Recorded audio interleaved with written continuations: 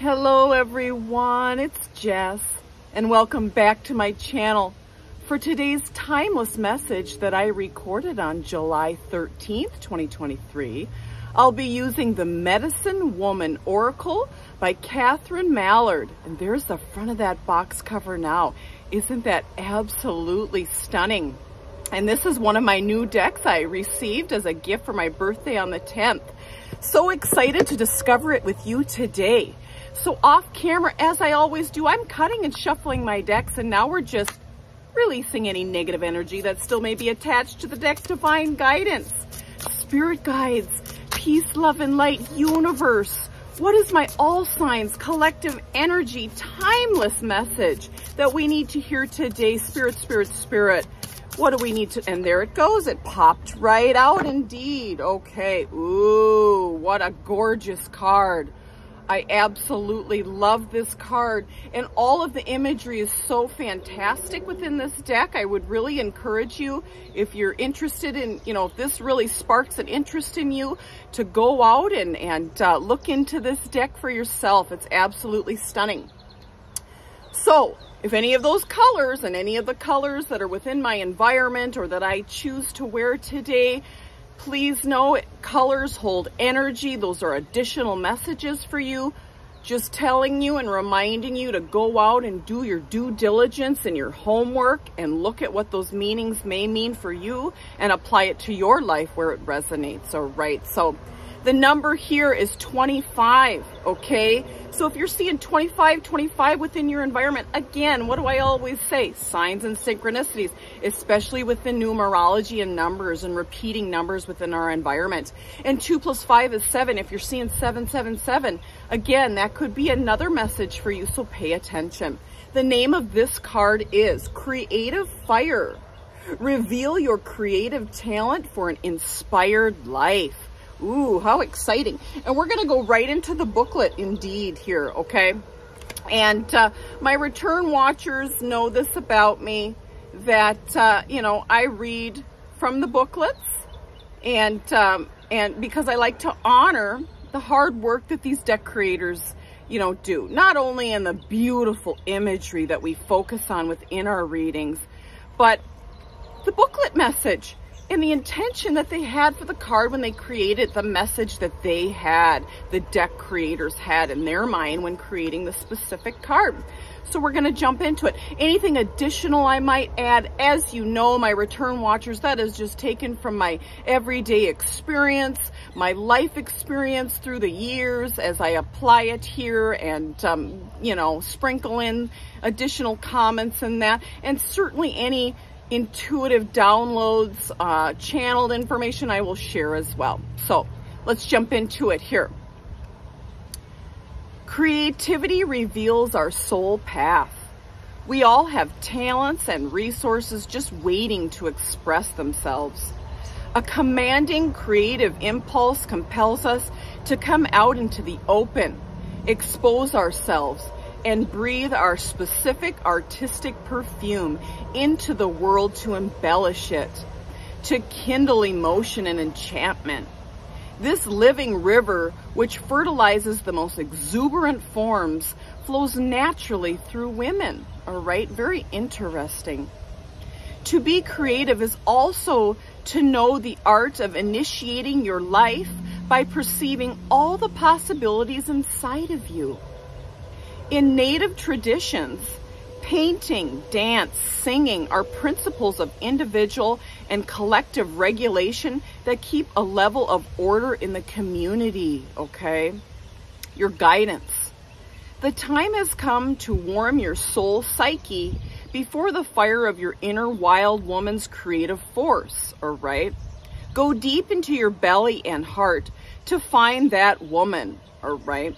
And, and as you know, this is a woman, medicine woman oracle, all right? So they're going to mention a lot about being a woman or, you know, how this applies to women. But let's also think about this as feminine energy, okay? Because we all are duality. We have masculine and feminine energy. So even my male masculine watchers or right or those that identify with more masculinity you can still learn things here today so just be you know, mindful of that as well. All right.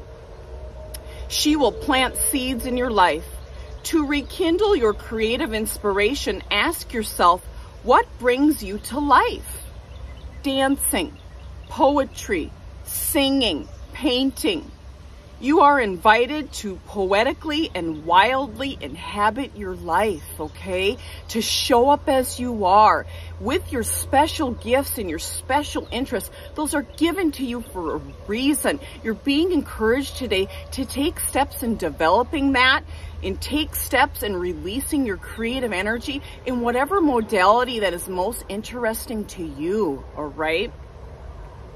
You are invited to poetically and wildly inhabit your life, whispers Clarissa Pinkola Estes, and I don't know who that is. Whatever you are going through, you could receive transfer, transformation through the right, through the path of creation, or right? Maybe you're looking to transform yourself and you want to honor yourself by listening to what creativity really lights you on fire and following that and doing that and pursuing that, all right? Maybe you've had a creative interest for many, many years and you just keep sweeping it off to the wayside, you know, boxing it up and putting it up on the shelf thinking that you'll come back to it later. Well, you're being invited today to take that box down and open it up and look through it. And this, you know, this is just an example, or right? And certainly to allow yourself to be creative today and whatever that means, okay? Instead of just saying, oh, I'll do it another day. I'll procrastinate, okay? I'll self-sabotage yet again. When creative, when creativity, excuse me, is our life force, okay? It's so important, not only to for ourselves, but even in our community. And maybe you've been really interested in finding out community creativity resources. So I'd encourage you to go out and do that today. Create creativity brings profound liberation, okay? So jump right in. It really builds self-confidence when you find a creative outlet, or right? It reduces stress and it allows you to express yourself in healthy ways. Your medicine action. Be wild and cleanse the river. Creative flow is in us. It is rarely dried up, but it can be polluted or contained, or right? And polluted might mean you know, somebody's telling you that your creative, your personal creative process is incorrect or it's weird or it's wrong or right. And, uh, you know, you're, so then you hold back and you find yourself not actually doing the things that hold great interest to you. Don't listen to the naysayers, all right? There are plenty of individuals in this world that have the same types of creative interests as you that would support you and encourage you to develop those, all right? So find your true tribe. Find those people that are going to support you in your creative endeavors. Creative practice. Light a candle and invoke the spirit of creative fire. Breathe in deeply. Connect to the matrix of the second chakra. Interesting. Two fingers below your navel, your reservoir of creative impulse, your uterine cave, as we speak of women, okay? Where the primordial feminine energies reside. Ask your question. Perform a sensory meditation with cinnamon bark essential oil if you're interested. Let an image, sentence, or thought come to you and let the creative current course through you. Sing, dance, write, and embrace life beating inside of you.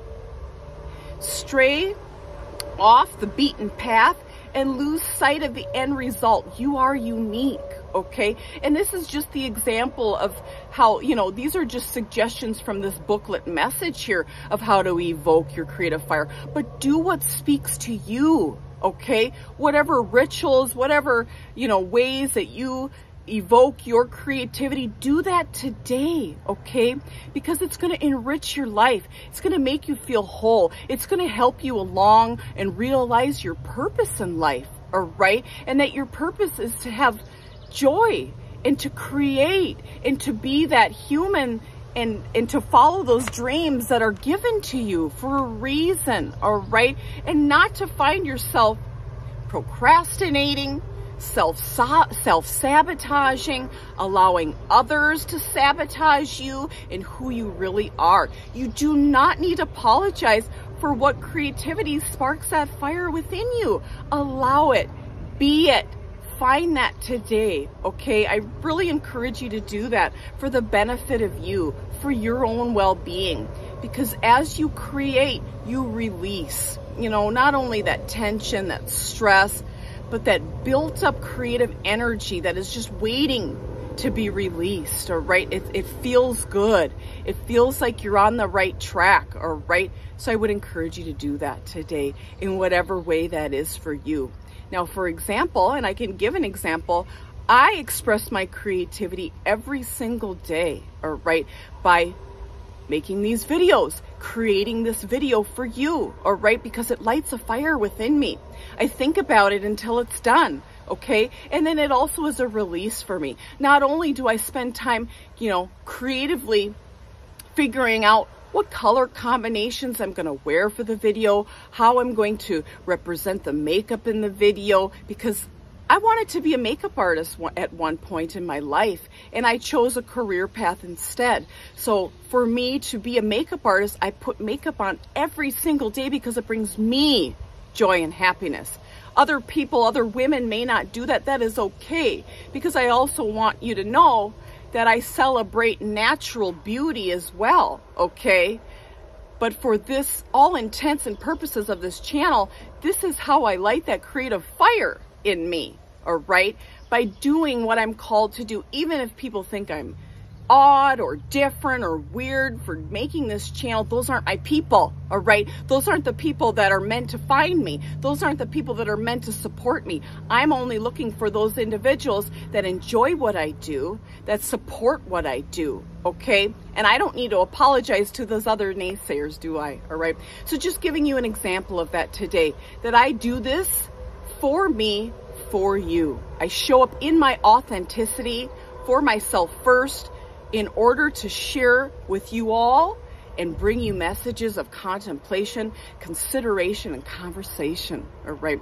So I invite you to be that creative, imaginative, beautiful, fantastic soul that you are and don't apologize for it. All right. What a beautiful message for all of us today. We can all take some of this and apply it to our life where it resonates. I encourage you to go out and light that creative fire today. Spend some time creating in whatever way that you see fit, whatever brings you joy.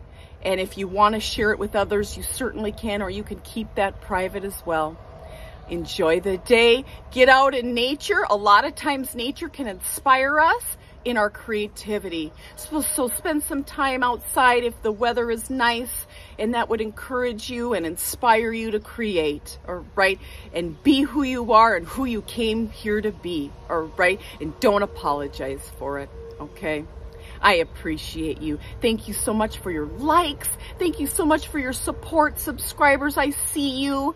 You are so important to me. I appreciate you. I get up every single day and I think about you and I think about how am I going to produce something that is of value for these people so that they can go through their day and it helps improve your day and it helps your well-being and it helps you. Okay? I thank you. Have a beautiful day. Put your best foot forward. Get out there in nature and be creative. Be the best human you can be. And come back tomorrow and join me for yet another collective energy reading. Bye-bye.